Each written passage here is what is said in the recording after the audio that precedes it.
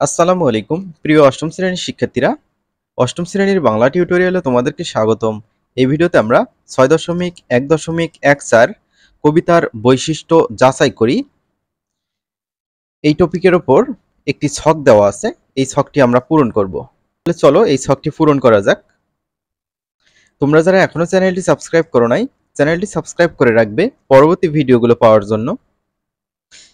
কবিতার নাম, পণ্ডশ্রম এই কবিতায় চরণের শেষে মিল আছে কিনা? আছে, যেমন, চিলে মিলে। তারপর হচ্ছে, তাল কেমন? তাল হচ্ছে অল্প ব্যবধানের। লয় বা গতি কেমন?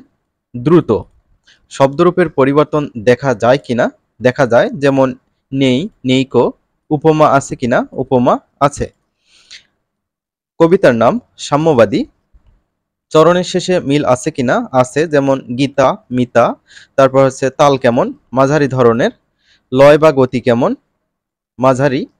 শব্দরূপের পরিবর্তন দেখা যায়, যেমন এসে, আসিয়া, উপমা, আছে।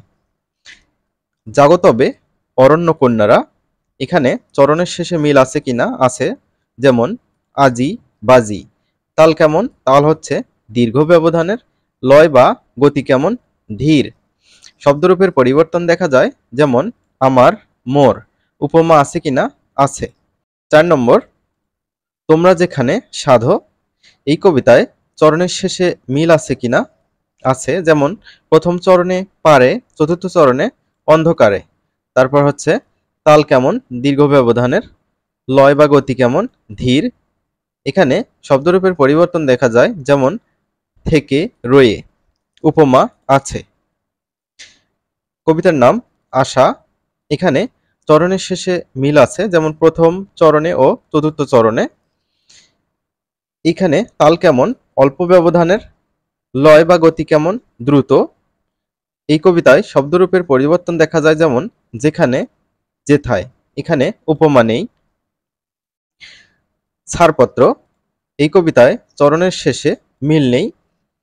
এই কবিতায় তাল নির্দিষ্ট ব্যবধানের নয় লয় বা গতি, ধীর। এখানে শব্দরূপের পরিবর্তন দেখা যায়, যেমন, রাতে, রাত্রে। এই কবিতায় উপমা আছে। আশা করছি তোমরা এই ছকটি বুঝতে পেরেছ। আমরা পরবর্তী ভিডিওতে পরবর্তী পরিচ্ছেদের ছক বা প্রশ্নগুলো নিয়ে হাজির হব।